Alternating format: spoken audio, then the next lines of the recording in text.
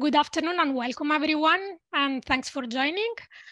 Uh, my name is Anna Castelli and I am working for EUROPARC Federation, uh, supporting the Healthy Parks, Healthy People Commission since one year now. Uh, thank you for um, for uh, for the interest and please, I wanted to let you know that we are recording and we would really like to see you. Uh, but if you are not comfortable with recording, you can switch off your camera um, because this event will then be uploaded in our website. Uh, although it's very nice to see the audience most of the time. Um, as I said, for those who don't know me, my name is Anna Castelli. I'm supporting the HPHP Commission, and I am also responsible for the Interreg European project uh, Green Health, when, uh, where uh, EUROPARC is advisory partner. This is the first Healthy Park, Healthy People um, webinar for 2023. Um, the people who uh, never joined us uh, probably don't know that we normally meet twice a year with uh, quite different topics. This, uh, this is the first uh, time that we actually uh, host a topic that is related to specific condition, health condition. Last time we met in 2022 in, in December. Um, I encourage you to put the questions in the chat uh, as soon as they come, because they will we will collect them and uh, reply at the end of the session or at the end of, of, of, of the webinar. And uh, we will also share the documentation of this session in our website. I will share the link um, so that you can um, that you can um, um connect, but also you will receive an email because you registered with uh, everything uh, in your email box. Um, as um, as I said, uh, we will use the chat for the question. Uh, write your name and organization in the chat so we pretty much know who you are and where you are joining, if you're from a protected area, if you have a health background, or if you're a researcher, or if you're just an interested person. And at the end, we will have an evaluation form in the chat, and we would appreciate that you fill it in. It just take a couple of minutes.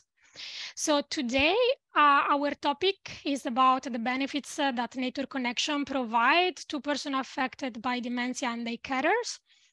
And as usual, uh, we are uh, introducing some practices uh, from different countries. So today we have United Kingdom and Austria um, I would like to welcome uh, Peter Rawcliffe, uh, the EUROPARC uh, Federation Vice President and also the chair of uh, um, HPHP uh, uh, Commission. Um, Gordon Malcolm, who is joining us from the UK too, um, who is going to present a, a, case study on Dementia Adventure and giving an introduction. And Susanne Käfer, who is um, introducing us a practice from Austria uh, at the end, we will have a wrap up and conclusion. And now I hand over to you, Pete. Thank you. Thanks, Anna, and welcome everyone. It is really good to see everyone, even though we're only connected by TV to this afternoon. And I have to say, I'm based in Scotland. I work for NatureScot, which is Scotland's uh, nature agency, uh, and it looks like rain in Scotland. And that's because the schools have broken up when our weather traditionally changes. Um, so uh, I work for NatureScot. I cover a range of work, including health and well-being, but also national parks and nature reserves. But I'm here wearing a slightly different hat today as, as Vice President of the EUROPARC Federation. Um, for those who don't know the Federation, it's Europe's largest network of nearly 400 national parks and protected areas across 37 countries, so slightly wider than Europe. And you can see uh, information about the organization and its work here. And I guess I, am bound to say as a, a, vice president, if you or your organization are not a member of a federation, then why not consider joining it, joining us so we can continue to put on free webinars such as this one. Next slide, please. As well as the honor of being a vice chair, I also have a real pleasure of chairing its Healthy Parks, Healthy People Europe Commission. In the next few slides, I'm going to introduce the main elements of this program. The Federation program was launched in June 2020. It draws inspiration from the global program and leadership of park agencies in countries such as Australia, Canada, the US and South Korea but it's also very much based on the interest and practice that have been developed across Europe. And it tries to draw on that practice um, in developing what we want to do in Europe. Our vision stated here is a simple one. Uh, we're simple people, of course. It's for happier and healthier people, more connected to nature-rich parks and protected areas. And the program is built around what we call four pillars, which support the development of the approach. And the four pillars being making the case, building partnerships, particularly with the health sector, but also other sectors within local authorities, with transport departments, with education authorities, etc. Developing capacity and practice, uh, particularly within our staff as, and organizational abilities, and connecting people and nature through green health activity. So doing specific things which deliver health outcomes. Next slide, please. And the purpose of the programme is to encourage more protected areas and national parks to do more of this. Listed here are some of the specific elements we think are most relevant to build on when we're doing this sort of work. Um, first and foremost is actually a, a, a, clear focus on a health outcome. Uh, we do lots of um, healthy activities for the general population as parks and protected area managers when we welcome people onto our sites and areas. But actually, green health activity is primarily focused on a specific condition. And they need to be designed to deliver that specific uh, condition two, often developed in partnership with the health sector, the local GP practice or the national agency. And uh, we're quite passionate about the uh, uh, process developed in the UK around the Five Ways Well framework, originally around mental health, but is very effective in connecting people and nature and delivering health outcomes for people and uh, greater benefits for nature too. Another area we think uh, requires a bit of attention is around how we monitor and evaluate health outcomes of these projects and activities. Um, often that can include in partnerships with academics, an area that we need to develop if we want to develop and promote those sort of magic numbers around the impact of what we do. And finally, um, the other area that we think is really important, and that's why I'm delighted to see so many people here today, is about uh, addressing, I guess, knowledge, training and capacity needs of our staff and organizations. Um, the health sector is complex. Um, uh, the terminology is very different to the world of park managers, and we need to get our heads into the space while not becoming health experts, of course, but being able to be able to deal with the sector in a, a, a reasonable and proportionate way. Next slide, please. I suspect we'll touch on most of those elements actually in the work in the in presentations we got today. And if you have any questions, particularly around those areas, it would be good to hear them uh, during during the course of the, today's session. The Commission has been working away quite merrily now for about 10 years, um, and we've we've continued to work on a range of resources that are listed here. We're very close to having presented about 30 times. That webinars, conferences and events and to specific parks in, at times as well. Uh, and yet we still find the interest in this work is growing amongst protected area managers. And we launched the program in 2020 and obviously that was the time of uh, peak COVID. Um, and COVID has had a real uh, impact on the relevance of this program uh, to many park areas, park and protected area managers. Um, as Anna will undoubtedly um, want me to say, we collect case studies um, of good practice and we're still in the market for new ones, new and exciting ones, particularly from parks and protected areas and countries we haven't heard of before. You can see a list of these on our current website. Um, and we've recently created a LinkedIn group for information exchange and hopefully some discussion around this issue. Um, the link will be in the chat if you want to join. We're also members of the IUCN Specialist Group on Health and Wellbeing and have contributed to the most recent call to arms, uh, Nature is Good Medicine, which was part of the World Parks Congress in Marseille a couple of years back now. And I think Anna's mentioned it, one of the more exciting things that's happening now is our involvement as partner in the new Interreg project on green health, which brings together a range of organizations from Spain, Ireland, Sweden, Croatia, and Poland. Some at the very beginning of their HPHP journey, some experience there. And we're using that project uh, as a learning experience to test uh, the final thing that we've done, uh, which is the toolkit, which we refreshed in 2021. But uh, that's a, a, what we call our compass, a vital resource where we've brought together all the information and all the learning that we've got uh, around healthy parks, healthy people, and specifically aimed at park managers. It includes a checklist of things that elements of green health projects that I've discussed and goes into a wide range of detail. So if you've never seen that before, that's really worth looking at. Uh, next slide, please. So as well as this webinar and asking lots of questions at it, uh, please feel free to get engaged. You can join our LinkedIn group, as I said. You can submit a case study uh, and we're also looking uh, for new members of the commission all the time. So if you're interested, please contact Anna and she's given her email address on that slide there, which is excellent. Okay, we can probably end the slideshow and I'll just set up the, the, the main event. So I've provided a, a, brief glimpse of a bigger picture, which hopefully will be familiar to some of you, uh, maybe new to more of you as well. But today's specific subject is dementia. And this is the first time we've looked at a specific health condition in more detail. Um, and it's very much front page news. Well, it is for us in, in Scotland and the UK. And it's a condition which probably impacts most families in the UK now to some extent. Um, but actually, the real inspiration for choosing this topic came from uh, the uh, annual conference, the delayed annual conference we held in Austria in, in May 2022, where we had a, a fantastic World Cafe session to begin the, the event. And I ended up on a table um, talking about Healthy Parks, Healthy People Europe uh, with a range of colleagues from Greece, from Finland and Austria. Uh, and one of them asked, uh, is anyone doing anything on dementia programs? And the other three responded, oh yes, there's quite a lot of work going on around dementia programs in our, in our parks, in some of our parks.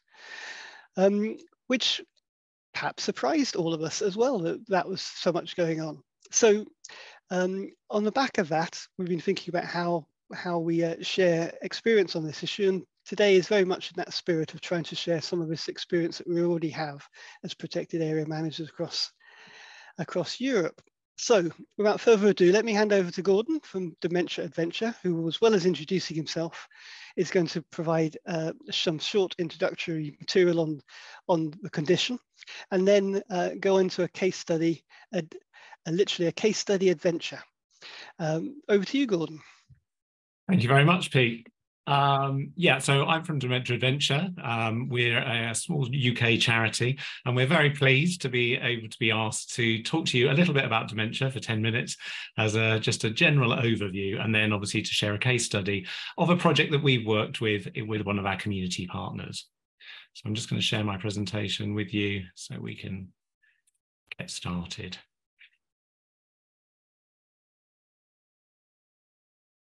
So Dementia Adventure is a small UK charity. We were founded in 2009 by a husband and wife team who found that when their uh, three of their grandparents developed dementia, that actually what often happens is that people's world starts to shrink and they actually stop doing the things that they love. They spend a lot more time indoors. And that meaning and purpose and that sense of adventure often is diminished. So, Dementia Adventure was set up, and this is our vision to provide a more active and fulfilled life for everyone living with dementia. And when we're talking everyone, we're talking about people living with dementia themselves, but also family, friends, and their carers. Our mission is to support people living with dementia to get outdoors and experience the benefits of nature. So the charity was originally set up to run supported holidays for people living with dementia and their carers. But also that developed over time since 2009 to actually share the work that we do because our work is grounded in research about the health and well-being benefits of connecting with nature. And we were finding more and more that organizations wanted to hear the positive about what people could do to slow the progression of the disease. So we work in partnership with people living with dementia to co-produce all our materials.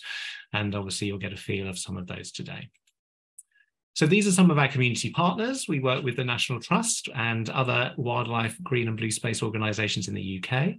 We also work with local authorities, care homes, health uh, healthcare professionals, and also, as I say, our work is always grounded in research, either the research that we've undertaken that's on our website, or that we've undertaken with UK universities. Today, when we're looking at dementia, obviously, um, some of you may not have thought of actually including people living with dementia in some of your um, activities or experiences that you're planning. But obviously, what I want you to think about today is when we're talking about dementia, dementia is a condition that affects cognitive ability, so brain function and sensory sensitivity. And so the information that we share today will benefit so many other groups of unique individuals, young people, people with special needs. So as this quote from Wendy Mitchell, who's Wendy's living with dementia, and she's also a passionate advocate, it says, if you get it right for people living with dementia, you get it right for so many other groups of people. So just to give you a brief overview, obviously we run two hour training talking about understanding dementia better. So this is just a 10 minute whirlwind tour, but dementia is an umbrella term for a range of conditions that affect the way the brain functions. It's progressive, it deteriorates and it's non-curable. And there are over 200 forms of dementia. On the screen, you just have a few identified. But as I say, it is this umbrella term. People often feel that it's related to getting older, which obviously age is the biggest risk factor, but people can develop dementia at any age. And in the UK, there's currently 900,000 people living with dementia, and 45,000 of those are under the age of 65. So I've been diagnosed with early onset dementia the young, youngest person we know at Dementia Adventure that's developed dementia is a, a, child of two years of age. So as I say, that condition is very rare, but there are many, many conditions that actually affect the way the brain functions. Because obviously you're in a European organization, I just wanted to share with you some European data for you. So within the European Union, obviously there are, in 2019, it was seen that there were 7 million just uh, nearly 8 million uh, people living with dementia. And obviously, the estimates are that these numbers are going to double. Uh, by 2050. Obviously, the uh, figures underneath also identify the area not just covered by the EU, but the other areas and the other countries within the European Union that the Alzheimer's Europe organization covers, and therefore those figures are slightly higher. But as you can see, the numbers are still expected to double by 2050. That's because we're all a, uh, uh, living a little bit longer, and therefore the prevalence and the incidence of dementia is going to increase. So in terms of dementia, people often ask us, are there ways of preventing or reducing the risk of developing the disease? Now, the Lancet Commission uh, produced a report in 2017 and then redid the report in 2020 and identified a range of conditions that actually and situations that can reduce our incidence of developing dementia. So the first is we can reduce our incidence by 7% by education. So people who experience lower education levels, so only up to primary age, then obviously they are more prevalent to develop the condition. In midlife, there are things that if we look after our hearing and actually things like hypertension, our alcohol consumption, and our obesity, so our weight, obviously, if we allow those uh, to increase to a particular level, then they increase our risk of developing the condition too. And in later life, smoking, depression, social isolation, physical inactivity, and air pollution and diabetes have all been identified as contributory factors to developing dementia. So that means that the modifiable factors, there are 40% um, of the factors that are modifiable. And actually, if we make life changes, we can reduce the likelihood of developing the condition. However, there are still 60% of unknown reasons why the condition is developed. At Dementia Adventure, we're all about understanding that with the right support, we believe that people living with dementia can do anything and can achieve amazing things. And it's still about having a happy and fulfilled life even after diagnosis. But there are barriers that we need to consider, and for you as organizations need to consider for the barriers that people face living with dementia to get outdoors. So, percent lack confidence to get outdoors. 68% also are worried about becoming confused in unfamiliar environments people are also worried about getting lost, about their mobility issues, because their mobility declines. Are they going to be able to cope in unfamiliar environments? So they're really keen to know about the accessibility arrangements, the seating, that there are different routes and different paths they can take depending on how they're feeling on a particular day and also not wanting to be a burden on others. So they really do want to ensure that actually people have a basic understanding of dementia because otherwise they feel that they could be misunderstood, their actions could be misinterpreted, and therefore they may become confused, upset, or embarrassed in going to unfamiliar environments. 40% of people, whilst living with dementia, also suffer with depression, are likely to have an episode of depression. So, understanding that is really, really key because keeping that meaning and purpose, keeping that physical activity can really reduce those feelings of anxiety and depression. So we're just going to watch a short video by um, Chris and Jane. Chris is living with Alzheimer's and mixed dementia, and he's just going to describe to us just how important it is to connect with nature.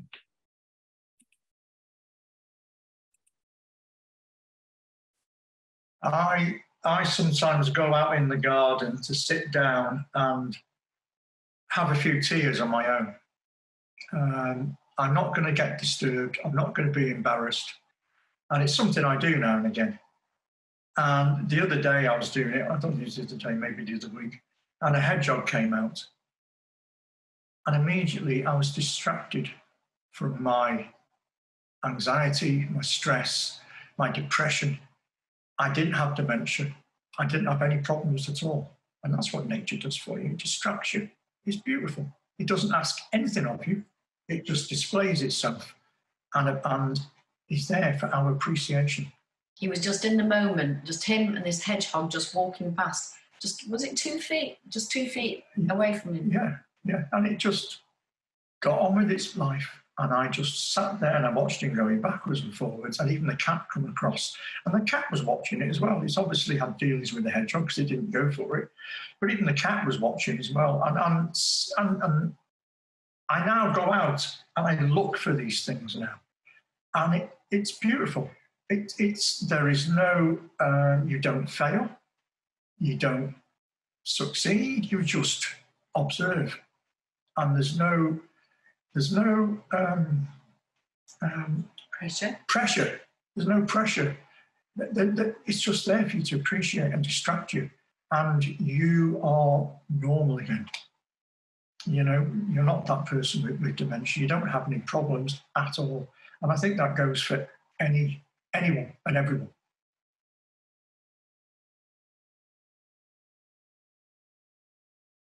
So I hope you'll agree that Chris describes really beautifully there just what um, connecting with nature means to him. So why? Well, actually, it helps to connect us to our emotional memories. It helps to distract us. It helps us to feel normal again. And if people are struggling with memory loss, which may be affected by their uh, dementia affecting the hippocampus, their amygdala, their emotional memory stays intact for much longer as part of the journey. And connecting with nature has an amazing way and a capacity to trigger that connection to our emotional memories because some of our earliest experience, our fondest experiences are connecting with the outdoors. The health and well-being benefits, well, Chris identified, it lowers his depression, but it also, it gives us a sense of well-being and research that we've done and other organizations have identified, it gives us a sense of belonging. It improves our sleeping and eating patterns, our verbal expression, stimulates our memory and provides us the opportunity to be captivated by the attention of nature and the great outdoors. Why? Well, actually, what happens is the light levels, we get increased vitamin D levels, and that has an in, in, impact on our bodies. Serotonin levels uh, are increased, our happy hormone, cortisol, our stress hormone, reduces. And therefore, we actually feel better because endorphins, dopamine are increased just by our, con- uh, our contact with the outdoors. And also, our immune system is also improved as a result. And again, for Dementia prevention, it's all about keeping the brain active because the more we can keep our brain active, the more we can slow the progression of the disease. We can't stop the progression, but we can slow it. This image just shows you that sitting quietly, it shows you the brain activity, but compared to a 20 minute walk. And again, nature naturally is multisensory and can stimulate the brain to ensure that it's kept active for longer. And this final quote for the presentation, a lady called Wendy Mitchell, who we met at the beginning of the presentation, she also says, when I'm stuck inside, I've only got my dementia for company. And it's not a very good house guest. But when outside, seems to dilute my dementia. And as Chris identified, it makes him feel normal again. So just why connecting with the outdoors and Dementia Adventure do what we do. So that's the end of this presentation. Are there any questions, Anna? I know that you're monitoring the chat. Is there anything that people are asking at this point, or would you like me to go on to the case study? At this point, if something is not coming in the moment, no. So you can go ahead and maybe something will pop up. Lovely. Thank you very much. So I'm going to just go forward now because, as I say, Dementia Adventure runs supported holidays, we run training, but we also work with organisations to become dementia friendly and to actually open their facilities to run dementia accessible experiences. So the case study that I'm going to share with you today is about a case study that we're working with Bradgate Park in Leicestershire in the UK, improving accessibility and expanding their learning engagement opportunities. So Bradgate Park is an 830 acre site. It's got mixed accessible and wild and rugged landscapes. It's got a site of special scientific interest within its grounds. And it's also got a protected ancient monument. It's got a beautiful deer park dating to 1241 with uh, a number of deer that they look after as well. I'm just going to share with you a short video just to give you a flavour of what Bradgate Park is like so you know what we're, where we're talking about in the UK.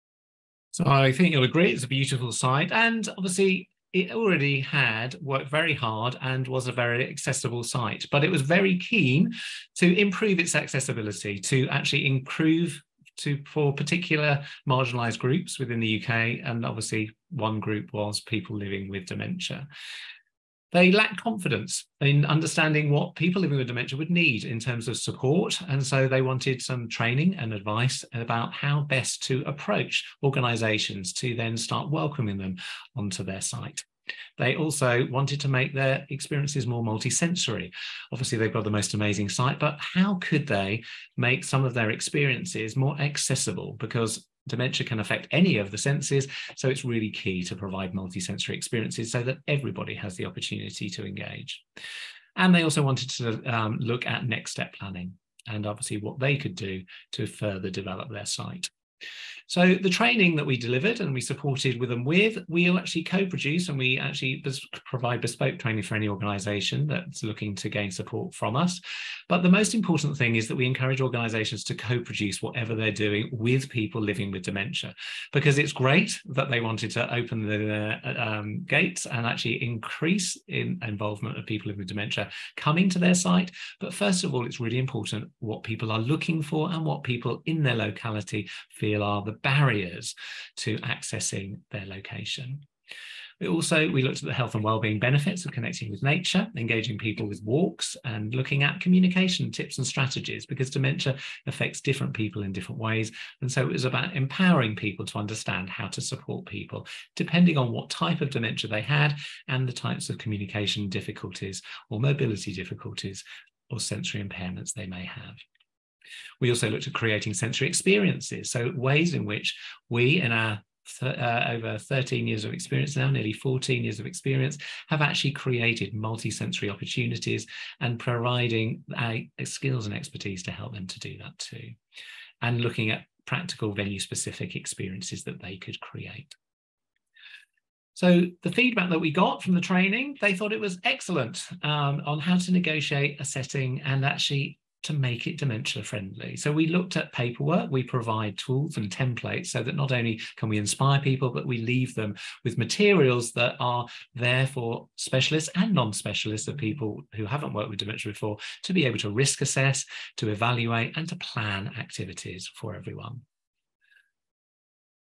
It also, the impact, there'd definitely been a catalyst to explore dementia friendly activities. So, as soon as we'd done the training, the volunteers created instantly during the day lots of opportunities and ident- identified places and experiences that they would integrate into their health walks that they were going to be running to help engage people at different points along their journey and also making sure those journeys were of different lengths to cater for different ability needs.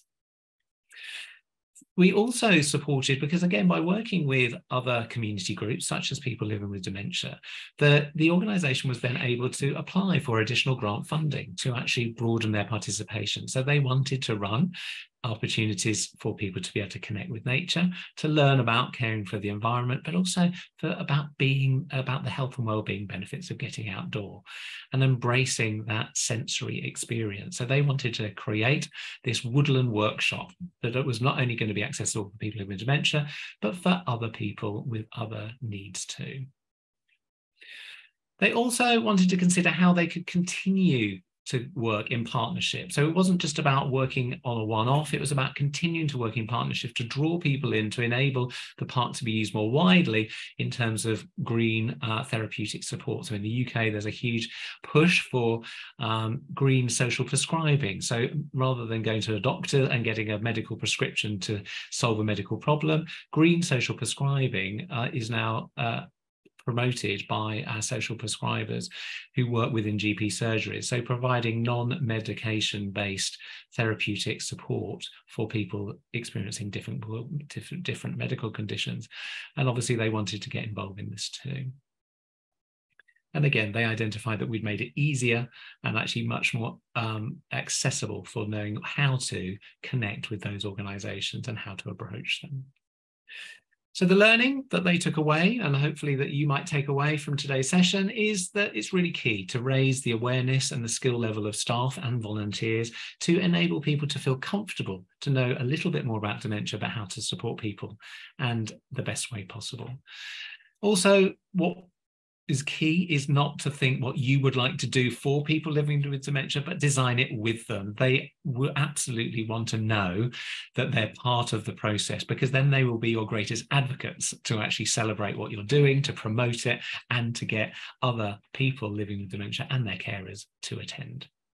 Making things accessible again, the routes at Bradgate Park were accessible, but it was looking at those finer details of different routes, maybe some additional seating, even bringing seating and temporary seating to enable people to be able to rest and recuperate and re-energize during their experiences so that they felt that they could fully engage. It was about providing multi-sensory opportunities, understanding that quiet areas are really important for people living with dementia if they start to become anxious or overcome by the environment, just quiet opportunities for them to actually relax and to provide the information in a variety of formats because people the greatest barrier for people accessing outdoors is their anxiety about will they cope. They need a lot of information to encourage them to even step over their threshold. So it's providing that providing a telephone helpline so that people can ring up and I inquire. But they, the more information you can provide people about how dementia inclusive your experience is, they will feel comfortable, safe, and secure in putting their trust in you to come and enjoy an experience at your site. And broadening your participation and partnerships with dementia will also support in all sorts of ways and opens doors for additional funding and exciting opportunities for the future. And so, what did we help with? Well, it was about increasing that confidence to take projects forward and hopefully to sort of continue well into the future. So, thank you for listening. Um, if you have any questions, I'd be happy to take them at the end. There are our details from Dementia Adventure, and do look us up. We have lots of other case studies of the work that we do on our website. Thank you very much. Thanks, thanks, Gord a really rich case study and it's probably got us all thinking. Um, I wondered whether I could ask just one question and others might want to chip in other questions. I can't see any on the chat at the moment. Um, what do you think um, for the for park manager, what was the most difficult thing for them to get their head round, do you think? I think first of all, it's it's feeling comfortable about providing support for people in with dementia and their carers, understanding what life looks like and what are the barriers that people are facing. So I think, you know, some basic understanding, dementia awareness, understanding of what can be done to help people to be positive and empowering and to provide people with help and support was was first. I think the other was really understanding what is preventing people accessing um, green space really that there is a great anxiety from carers that the person that they're supporting isn't going to be safe they're not going to be understood. They're going to become maybe confused overcome misunderstood. And so removing that fear by providing carers with information so providing in a, a, format that provides them with all the information that they need is really key because it just helps the carer and the person living with dementia feel confident to step outdoors and actually engage with community organizations which they'd love to but it's just about increasing confidence. Okay thank you. So increasing confidence is important. I'm just picking up a question from uh, dita uh, apologies if i got your name wrong. About um, surely everyone's too busy to do this.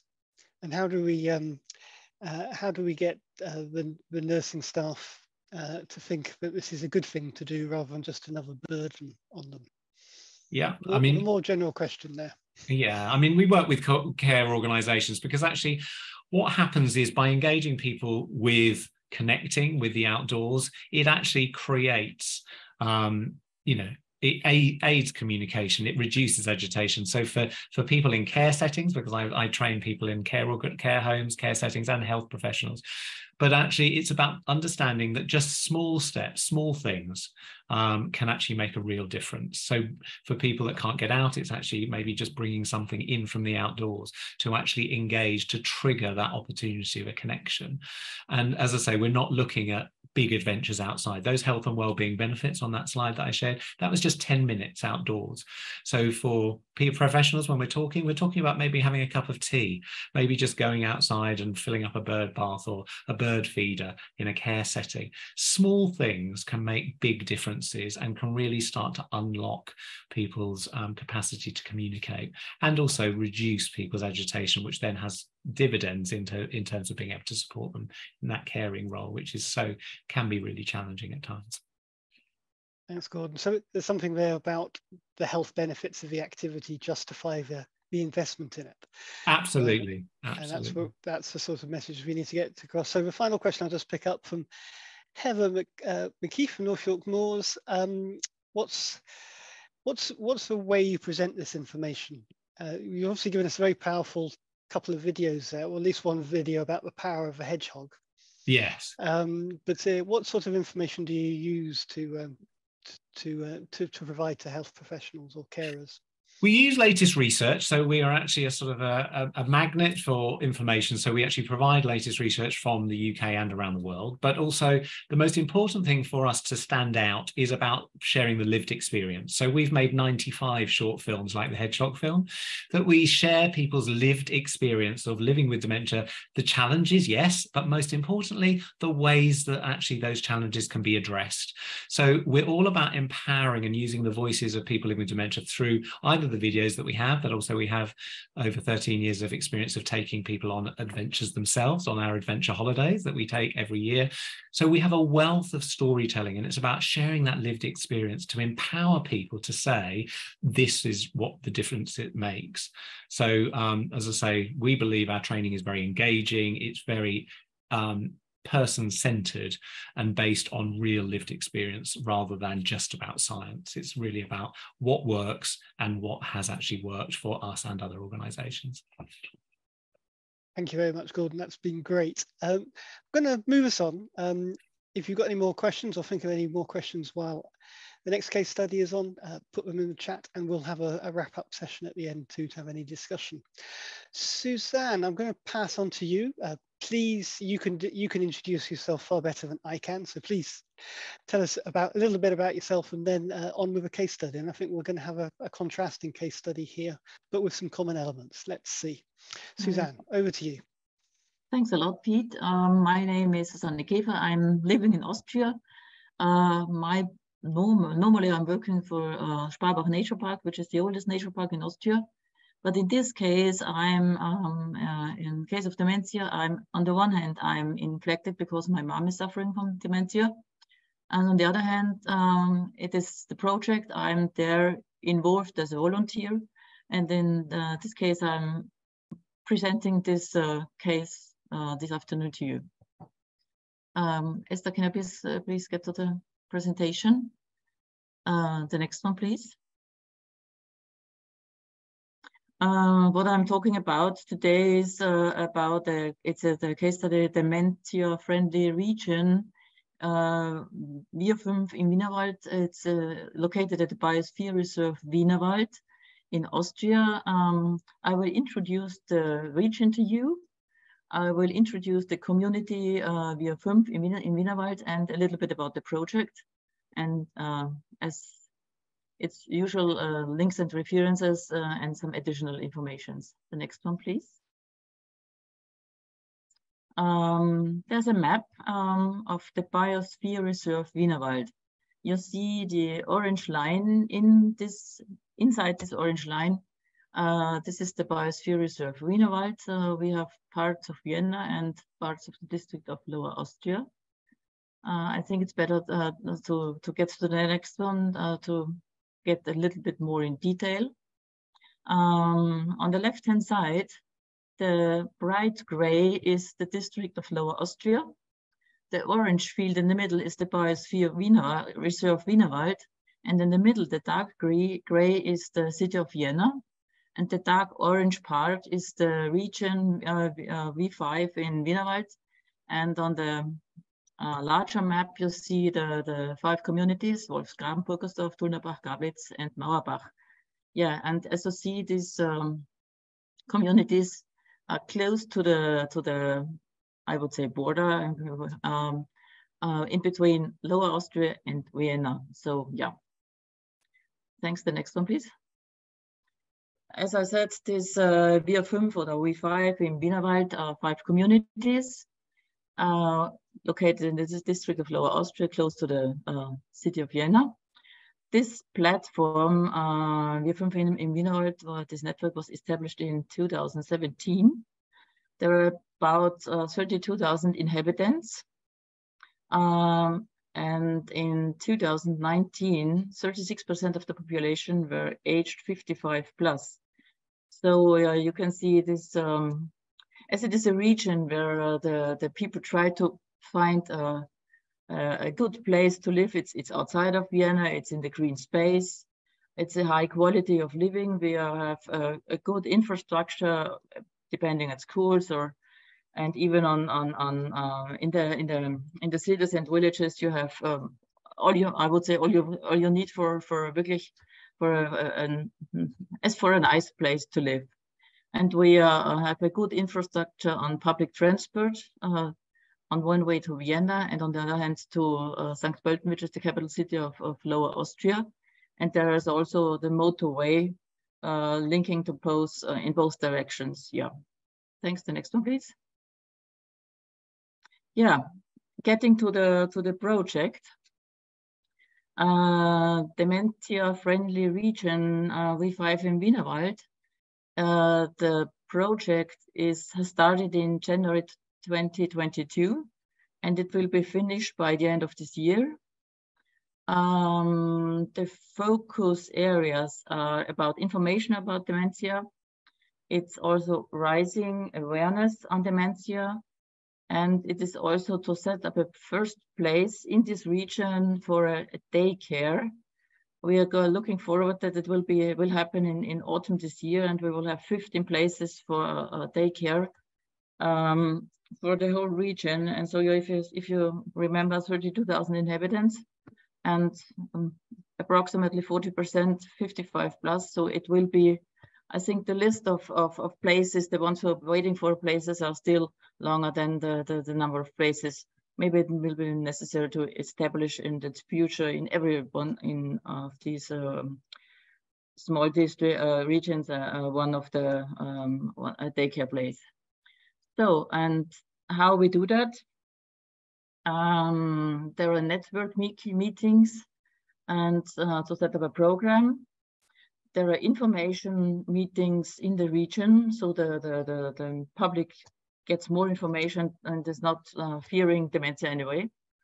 Uh, there are some regular tables uh, for carers, uh, which this is the, the my this was my step into this project, uh, and they, they are, I learned a lot about and I've met a lot of people, so it's really interesting.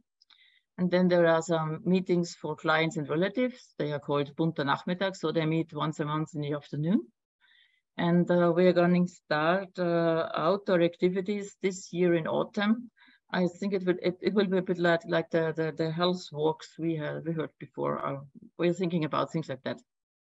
The next one, please. Yeah, this project um, was based on, on the experiences of a project which took place in the city of Klosterneuburg, which is also uh, located in the Biosphere Reserve Wienerwald and also close to the to the uh, border of, of the city of Vienna.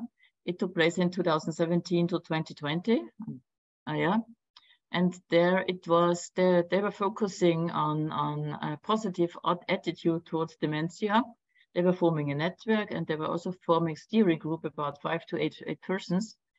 And there was a, the, um, a partner organization, uh, Caritas, which is a social organization. They um, um, covering all kind of social aspects and regulations. For the project uh, V5 in Wienerwald, um, we are also forming a network and we, there's also a steering group and there's also Caritas as a leading partner in this project uh, to gain uh, experience. They have their experiences in all kinds of social aspects and, and, and uh, the regulations. So they are really a um, good partner for these kind of activities. The next one, please. Uh, it's just to mention there are other project, projects in the Biosphere Reserve Wienerwald as well. Um, sorry, but these projects are just in German. Um, uh, Miteinander Demenzfreundliches Hietzing. Hietzing is a, a, district of Vienna. It's the 13th district. And they are uh, working, there's a kind of, of social um, um, house, I would say. And they are um, covering and uh, those activities for this district. Uh, and the Austrian Federal Forest Organization is also has also some some some programs. They have they have some guiding programs under the name under the name of Wildlife. They offer guided tours for um, people uh, with dementia and their their relatives. But they're just at the very beginning. But they have uh, introduced their guides, and so yeah, uh, I don't know that uh, uh, if they have have done really some activities. Um, yeah. The next one, please yeah, there are there are some. You can see some some informations and uh, the the links we have to the to the project. Um, I'm sorry, but they are just available in German. but anyway, I think if there if anyone has a, a good translator, you will find the main informations as well. Yeah, the next one, please. Yeah. Uh, if you need some information, some more information, you can contact me. There's what is my private um, email. And you can also reach me at uh, Naturpark Sparbach, um, where I'm more or less during the day. yeah, so uh, so if you want some more information, feel free. So I think this is the last one. Yeah, thank you. Thanks, Suzanne. Really interesting too. Um, just a question for me and see if, see if others want to pick up questions on the chat. Uh, I, I, guess you've emphasized there the scale of potential demand, uh, yeah. given the given the size of the population in the in the region and and the age of them. Um, so given that, what what do you, can you say anything about what you think what the success will look like in terms of this project when it comes towards the end? The the one just uh, the running one. Mm -hmm. Yeah, uh, yeah. I think uh, the the the main focus is uh, the focused areas are more or less uh, the ones that that, uh, that, that the aims that we are on on the track we are getting forward. Mm -hmm. So I think even the establishing the this first pay, place of a days care structure is really a good thing because um, at those those tables when we are meeting there are a lot of people they are just saying, wow, it would be really nice if there is a kind of, uh, of, of, of, of, daycare where I can bring my relative, my husband, my mom, whatever, um, and, and I can have one uh, just half a day or a day off uh, for personal needs. Yeah. Mm-hmm. So this is, um, I would really say, first step and the necessary step. But I think in all those communities which are uh, included in this uh, VF, uh, V5 I think there's uh, there will be very soon the need for uh, a daycare, um, uh, uh a place for daycare uh, uh, in in every in every community, more or less. I think this will be the next mm-hmm. step. Okay. Because you, you in between there are you have to, to to have you have to have a transporter. You have to have one who who takes the the the, the suffering one, bringing um, him or her over there. So yeah. Mm -hmm. Okay, thank you. And if I can hog the floor a bit. So in terms of, you've talked about health walks and guided walks. Mm -hmm. were, were these existing programs which have been um, altered uh, and uh, linked to the, to the project or are they totally new? Uh, they will be new in this project. Um, till now, there, there are no uh, guided walks but we will we will try to start this in in in autumn when the the landscape is really colorful. So i think it's it's a good idea to start like this. But and, and just with the short walks we have also defined some areas where we can do that. Okay really interesting.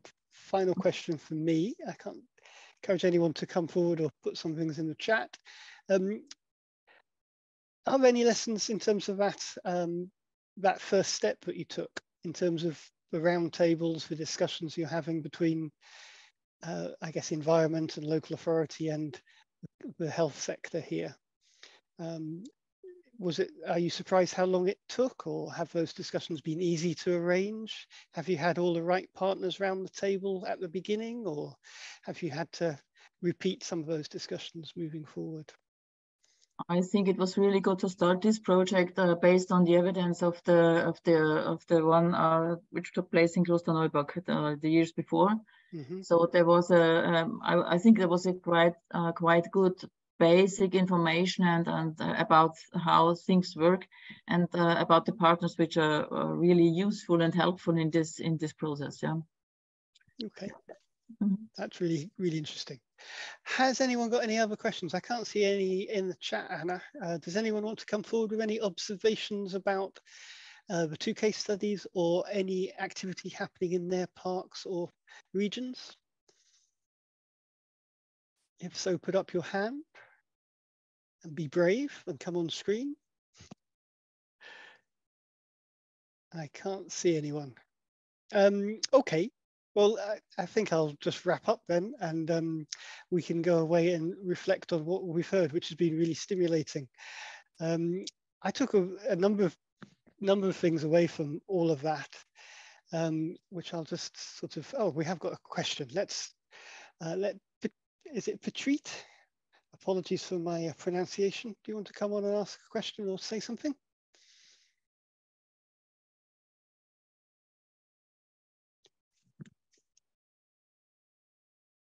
Sorry, I, I saw a hand go up, but I can't see anyone anymore. Okay, hand's gone down. Um, so some observations, I guess, uh, pulled out from both case studies. Um, one thing I hadn't really thought about before was about the approach for dealing or uh, uh, developing dementia-friendly programs is relevant to lots of green health activity. And I think one of the slides Gordon put up about the risk factors for um, uh, dementia are, are, about population health um, factors and the general visitors to, to, our parks and protected areas is definitely getting some of those factors reduced. So the relevance there is more than just dementia, some of the things we've heard about today. Um, as I said, you can't help but be struck about the importance of being in and observing nature here in terms of the health benefits and the evidence uh, that was presented.